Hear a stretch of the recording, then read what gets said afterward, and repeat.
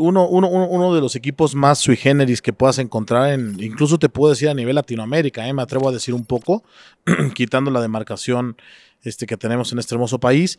Es, es una historia que nace, eh, un proyecto que nace hace un año y medio aproximadamente. Eh, Arturo El Rudo Rivera, en paz descanse, y tu servidor habíamos producido eh, Un México Perro, el héroe verdadero.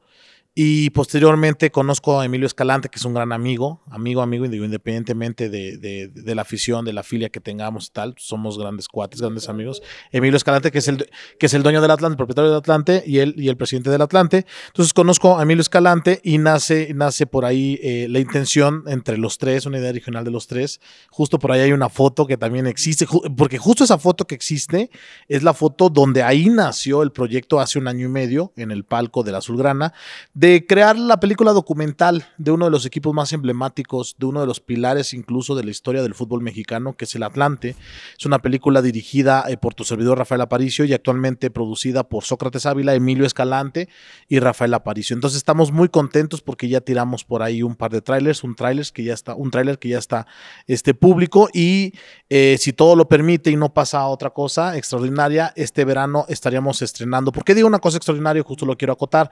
Porque esta película película, desde su concepción, siempre estuvo pensada para festivales internacionales de cine. Es decir, primero va a dar una ruta por circuitos de festivales internacionales de cine. Nos fue muy bien con el perro aguayo, nos fue muy bien con un México perro. Este, estuvimos en China, estuvimos en la muestra de cine de Madrid, estuvimos en el Festival de Cine de Los Ángeles, estuvimos en el Festival de Cine Documental de la Ciudad de México, que es uno de los más importantes en Latinoamérica, y vamos evidentemente a replicar esta, esta, esta nueva dinámica o esta buena dinámica que tenemos de irnos a los festivales de cine para posteriormente llegar a los cines comerciales en México. A ver, evidentemente el, universo del Atlante es muy amplio, o sea, hace casi 107 años encapsularlos en 60, 75 minutos, pues está como bastante complejo, ¿no? Lo que sí es que te encuentras varios paralelismos dentro de esta historia.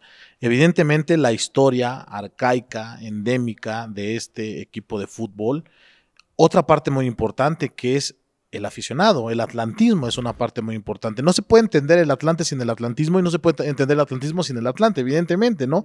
Este, y posteriormente, pues todas estas altibajos y bemoles que ha tenido hasta llegar a esta época actual y a este idilio que estamos teniendo, porque no nada más ahorita podemos hablar de un equipo histórico, sino que también a la par este, pues es un equipo que está jugando bien, ¿no? Que si está en liga de expansión, que si está arriba, que si está abajo, que si está en medio o enfrente, y sí, obviamente te puede, te jode mucho porque pues deberíamos de, estar justo en una, en una división que estamos a nada ya, ya realmente de estarlo, y que a lo mejor ahorita cuando después veamos esta eh, entrevista seguramente ya estamos en la liga profesional, lo sé, lo siento, lo, lo, lo presiento, pero es un equipo que justo eso, no se puede entender realmente la historia del fútbol mexicano sin la historia del Atlante, ¿no?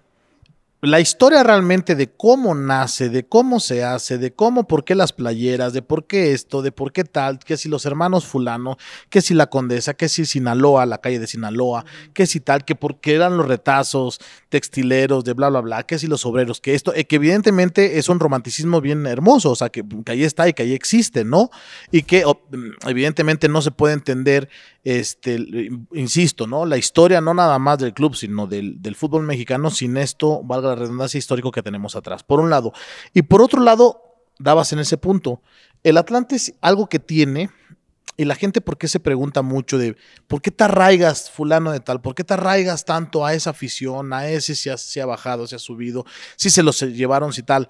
Porque evidentemente estamos hablando de una filia de herencias, de es una herencia que me dejó el abuelo, que me dejó el padre. Incluso poniéndonos quisquillosos antropológicamente, estaríamos hablando de un ejercicio autocrítico que también no está en la sociedad de estas costumbres o esto educativo que nos daba nuestra mamá anteriormente. Hoy ya no le hacemos caso a la mamá, ni le hacemos caso al papá y lo tiramos a loco y pobre viejo, yo qué sé. Anteriormente estos valores eran como bien emblemáticos. Entonces el padre o la mamá, justo porque hay muchos casos que he conocido que ya le vas a ir al Atlante porque es un equipo de la familia.